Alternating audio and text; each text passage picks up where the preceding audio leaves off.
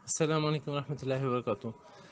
आ, मैं अपने भाइयों को थोड़ा सा इस्लामिक बैंकिंग का बैकग्राउंड बता दूँ कि इस्लामिक बैंकिंग क्यों पहले वजूद में नहीं आई थी अब क्यों आई है और कैसे आई है। तो बेस क्लियर होगी तो सब कुछ इंशाल्लाह क्लियर हो जाएगा। बैंकिंग सिस्टम ऐसा था कि दीनदार लोग अपने बच्चों को इल्म इलाही देते थे और दुनियादार लोग सिर्फ़ असरी तालीम देते थे दीनी तालीम नहीं देते थे। यूँ दोनों में गैप था तो उलमा जो हैं वो बैंकिंग सिस्टम को नहीं समझ पा रहे थे और आम बैंकर्स जो हैं वो इस्लाम को नहीं समझ पा रहे थे या इस्लामिक सिस्टम ऑफ़ बैंकिंग को नहीं समझ पा रहे थे। तो अल्लाह ताला की करीम ज़ात ने हम पे फजल किया। हमें ज़रूरत थी किसी ऐसी हस्ती की जिसके पास दोनों इल्म हो और दोनों में कॉम्पिटेंसी हो। और फिर वो लाहियत और खशियत और तकवा का भी एक मुजस्म हो वो शख्सियत। अल्लाह ताला की करीम ज़ात ने फिर मुफ्ती तकी साहब को इस काम के लिए कबूल फरमाया। मुफ्ती तकी उसमानी साहब शेख़ुलस्लाम पाकिस्तान भी हैं और आलम इस्लाम भी हैं। और इसके अलावा ये कि वो शरिया कोर्ट के चीफ़ जस्टिस भी रहे हैं और इसके अलावा इस्लामिक जद्दा काउंसिल के चेयरमैन भी रहे हैं। अरब जदीद असी मसाइल में भी उनसे गाइडेंस लेते हैं। शेख सुदेश जब से डायरेक्टर हरमैन शरीफैन बने हैं, वो भी उनसे गाइडेंस लेते हैं। तो मुफ्ती तकी उसमानी साहब दामद ने फिर इस पर काम शुरू किया। तो तीस बरस ऐसी हस्ती के लगे, जिसने बैंकिंग सिस्टम की एक एक चीज़ को देखा स्टडी किया, उसका अल्टरनेट हलाल सोलूशन तलाश किया, कुरान एंड सुन्ना की लाइट में। और फिर उसको इकट्ठा किया। वो तीस बरस की मेहनत के बाद जो मुसवदा तैयार हुआ, फिर ऐसा नहीं है कि ख़ुद तैयार कर लिया और उस पर अतमाद कर लिया। बल्कि इस पूरे मुसवदे को उन्होंने अहल पे पेश किया। फिर अहल ने उस पर क्रिटिसाइज़ किया। तो जो क्रिटिसाइज़ किया अहल इल्म ने उसमें जो जो मसाइल थे, वो सारे के सारे थे। फिर अहल इल्म ने उस पर ऑब्जेक्शंस किए, मुफ्ती तकी उस्मानी साहब ने उनको क्लियर किया। फिर बैंक कन्वीनियर्स आए, फिर बैंक कन्वीनियर्स के ऑब्जेक्शंस थे, वो फिर क्लियर हुए। फिर उसके बाद अरब उलमा पे पेश किया, जद्दा इस्लामिक काउंसिल में अरब उलमा ने ऑब्जेक्शंस किए, फिर मुफ्ती तकी उस्मानी साहब ने उसको क्लियर किया। इस सब के बाद फिर ज़रूरत पड़ी कि अब ना इनको प्रॉपरली एक Islamic bank banking system launch करके दिया जाए। तो उसके लिए मुफ्ती तकी उस्मानी साहब ने अपने शेख शेख अबू, अब्दुल फ़त्ता अबू गुद्दा जो हैं, उनकी रहनुमाई ली और उनसे रिक्वेस्ट की तो सेमी गवर्नमेंटल लेवल पे बैंक इस मीज़ान बैंक जो है उसको लॉन्च किया गया। तो फिर जब प्रैक्टिकली इसकी पिक्चर देखी, बाकी सारे बैंक्स ने और इसका हलाल बिज़नेस देखा तो उन्होंने देखा कि ये रेशियो तो बहुत ज़्यादा है, बड़ी अच्छी है। तो फिर उन्होंने भी ख्वाहिश ज़ाहिर की कि हम भी इस्लामिक विंडोज़ जो हैं स्टार्ट करते हैं या अपने सिस्टम को कन्वर्ट करते हैं। तो असल ये लॉन्चिंग इसकी इसलिए हुई थी। बाकी ये कि इसका प्रोपोगेंडा जैसे ही मुफ्ती तकी सोनी साहब ने इस पर काम शुरू किया था तो इसका प्रोपोगेंडा स्टार्ट कर दिया था बातिल ने। उसकी वजह ये थी कि हमारे पास सारे बैंक बैंकिंग सिस्टम पूरी दुनिया में जो हैं, वो ज्यूज़ की चेन्स हैं। तो उसका नतीजा ये होता था कि हम पैसा भी मुसलमानों का उनके पास था और मुसलमान कशकोल लेके जाते थे, वो उसमें डाल के फिर ऊपर से सूद भी लगाते थे। तो अब इस्लामिक बैंकिंग पे जब काम शुरू हुआ तो ये प्रोपोगेंडा पूरे माशरे में कर दिया गया कि बैंकिंग इस्लामिकली तो पॉसिबल है ही नहीं है। ये बिल्कुल प्रोपोगेंडा ऐसा ही है, जैसे हम तबलीग में जाने से पहले हम ये समझ रहे थे कि दीन जो है वो नमाज़ का नाम है। नमाज़ is thing what inside मस्जिद। मस्जिद में होती है, हम मस्जिद में नहीं जाते थे तो हम आज़ाद ज़िंदगी बसर करते थे। तो हमें तबलीग में एक ब्रॉड विजन मिला कि तबलीग में एक ब्रॉड विजन मिला हमें कि हमें ब्रॉड विजन ये मिला तबलीग में कि हमारी 24 घंटे मुसलमान की 24 घंटे की ज़िंदगी दीन है। अगर उसमें अल्लाह ताला का हुक्म ज़िंदा हो जाए और नबी सल्लल्लाहु अलैहि वसल्लम की मुबारक सुन्नत जो है उसको ज़िंदा कर दिया जाए। तो जब ये बात हो गई तो फिर हमें पता चला। तो उसमें आप देखें हमारे माशरे में एक शोबा बैंकिंग का भी है। तो इट्स मीन बैंकिंग भी इस्लामिकली पॉसिबल है। अब फिर वो कैसे है उस पर शेख इस्लाम साहब ने काम किया है। तो फिर उसके बाद इसको इम्प्लीमेंट किया गया है अलहमदिल्ला तो पहली बात तो ये है इसको याद रखें इंशाल्लाह फिर बाकी नेक्स्ट रहमतुल्लाहि व अब जैसे ही इस्लामिक बैंकिंग की लॉन्चिंग जो है प्रैक्टिकली करके दिखाने के लिए सेमी गवर्नमेंटल लेवल पे जब मीज़ान बैंक को लॉन्च करने की कोशिश की गई तो पूरी उम्मत में बातिल ने प्रोपेगेंडा स्टार्ट कर दिया कि बैंकिंग तो इस्लामिकली पॉसिबल ही नहीं है। और इस खूबसूरत से एक नारे में सीधे साधे भोले भाले अल्लाह वाले वो उलमा जो बैंकिंग सिस्टम को नहीं समझते, वो भी आ गए और इनके अलावा बाहर से एंकर्स भी परचेज़ किए गए, लोग भी ख़रीदे गए। इकोनॉमिस्ट भी जो इसको डिस्कशन में लाते रहे कि बैंकिंग तो ऐसे ही है, ऐसे ही है इस्लामिकली पॉसिबल ही नहीं है। इस प्रोपोगंडे का असल इसकी जो वजह थी वो ये थी कि अल्हम्दुलिल्लाह मुसलमान ईमान वाला है और उसके अंदर कलिमा है और कलिमा उसको हराम से रोकता है। अगर इसको अल्टरनेट और सबसे सब्सिट्यूट हलाल मिल जाए किसी चीज़ का तो इन ये कलिमा इसको उस तरफ़ मुंतकिल कर देगा।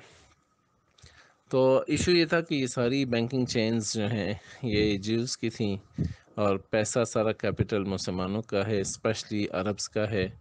तो वो पैसा भी हमारा था कशकोल लेके भी हम ही जाते थे, वो एक हाथ से दे के दूसरे से सूद स्टैम्प कर देते थे।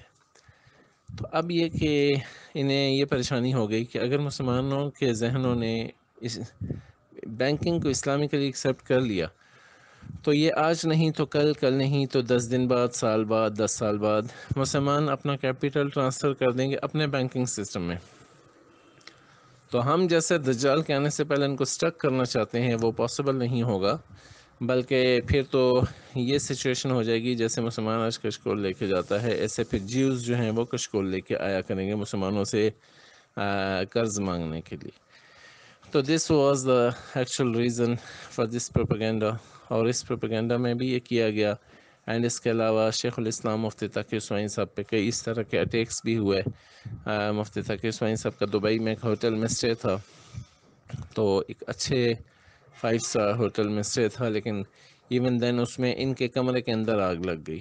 तो अल्लाह ताला की करीम ज़ात ने हज़रत को भी महफूज रखा और ये सारी चीज़ें। तो दूसरी रीज़न ये है इस प्रोपेगेंडे की। जजाकल्ला फिर उसके बाद, जब प्रैक्टिकली इस्लामिक बैंकिंग ने काम स्टार्ट कर दिया तो it was initial step towards Allah और सूद से बचा हुआ था। तो अल्लाह ताला की करीम ज़ात की रहमत भी शामिल हाल रही इनकी बिज़नेस रेशियो जो है बहुत हाई फाई रही। विद इन ईयर कई सौ ब्रांचेस खुल गई। अल्हम्दुलिल्लाह। तो इस बिज़नेस को देख के बाकी सारे बैंक्स जो हैं वो परेशान हो गए। पहले तो वो प्रोपेगेंडा कर रहे थे कि बैंकिंग तो वही है जी सिस्टम वही है, कान यहाँ से पकड़ें, कान वहाँ से पकड़ें। ऐसे ही लेते हैं और ऐसे ही मार्कअप लेते हैं दिस दिस एंड देट लेकिन फिर वो मजबूर हो गए सरेंडर करने के लिए। एंड दे सरेंडर्ड फिर उसके बाद उन्होंने ख़ुद सोचा कि हमें भी कोई इस्लामिक विंडो का स्टेप लेना चाहिए। अदरवाइज़ हम सब के सब कंगाल हो जाएँगे और मुसलमान अपना कैपिटल ट्रांसफ़र कर देंगे इस्लामिक बैंक्स में। तो इसके लिए वो मजबूर हो के आए। तो मुफ्ती तक हुसैन साहब, दामोदर का तुमने अपनी एक बड़ी हमत से उन्होंने पूरा एक शरिया कंप्लायंस बोर्ड एक बना दिया, जो इन बैंकिंग सिस्टम्स को समझेगा और इनके इस सिस्टम को देखेगा। वो according to this phenomena of Islam होगा तो फिर वो इस्लामिक बैंकिंग होगी इस्लामिक विंडो होगी अदरवाइज़ नहीं होगी। तो इसमें हमत ये थी मुफ्ती तकीर उसमानी साहब की कि जब ये ख़ुद इस्लामिक विंडो स्टार्ट कर लेंगे तो इट्स मीन कि ये इस बात को एक्सेप्ट कर लेंगे कि हमारा जो बैंक बैंकिंग सिस्टम्स हैं, वो कन्वेंशनल्स हैं, वो इस्लामिक बैंकिंग नहीं है। पहले तो ये प्रोपोगंडा करते थे ना कि मीज़ान ठीक नहीं है, बैंक इस्लामी ठीक नहीं। जब अब सारे बैंक्स खुद अल्फला कह रहा है अलाइट कह रहा है यूनाइटेड कह रहा है this is our Islamic window तो फिर वो इट्स मीन के वो खुद एक्सेप्ट कर रहा है कि बाकी हमारा रेस्ट ऑफ़ जो बिज़नेस है वो is not Islamic only conventional banking है। तो इससे अलहमद माशरे में ये प्रोपागेंडा भी ख़त्म हो गया, अल्लाह ताला के फजल से। सो दिस इज़ टोटली अल्हम्दुलिल्लाह, हलाल एंड इस्लामिक बैंकिंग बाकी आपका क्वेश्चन ये रहा कि इसमें ये सर्टिफिकेट ये जायज़ है, ये जायज़ है।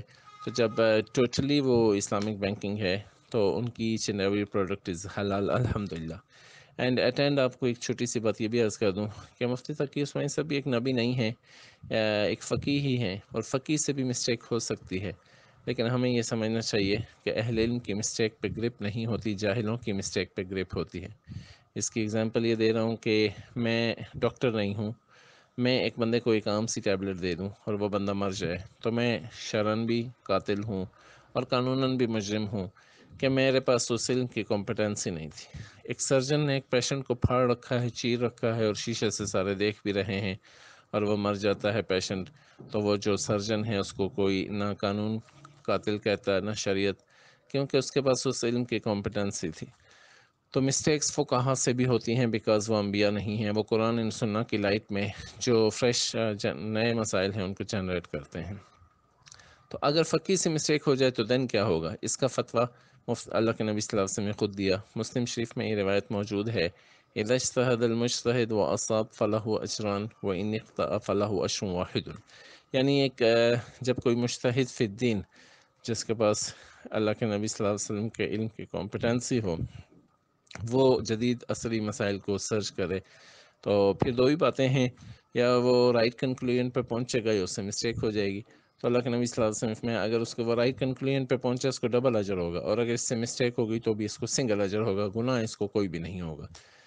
और यही हुक्म इसके फॉलोअर्स के लिए भी होगा, यकीनन कि फ़ुकहा के पीछे चलने वाले जो हैं, वो कभी नादिम और शर्मिंदा नहीं होंगे बिकॉज़ अनस्टेबल तो फ़ुकहा होंगे, ये नहीं होंगे। हमें बस, हमें चाहिए we should be behind the screen हमें स्क्रीन की पीछे रहना चाहिए। हम गाड़ी चलाते हैं, सामने विंड स्क्रीन होती है। उसकी बरकत से हम गर्मी, सर्दी और गर्द गुबार और इन सब चीज़ों से बचे रहते हैं। अगर हम विंड स्क्रीन को क्रॉस करने की कोशिश करेंगे तो we have to face each and everything directly फिर हमें खुद फेस करना होगा। तो बड़ा इशू हो जाएगा। तो फ़ुकहा इस उम्मत के सरों के ताज हैं। एंड वो हमारी विन स्क्रीनस हैं तो हमें इनके पीछे ही रहना चाहिए। अल्लाह आपको बहुत जजा खैर दे। उम्मीद है इस छोटी सी डिस्कशन में मैं अपने भाई को कुछ बेसिक जो चंद एक उसकी डिटेल्स हैं वो दे सका हूँ। अल्लाह ताला अपनी रहमत से हमें अमल की तोफ़ी कता में असल वरहमल व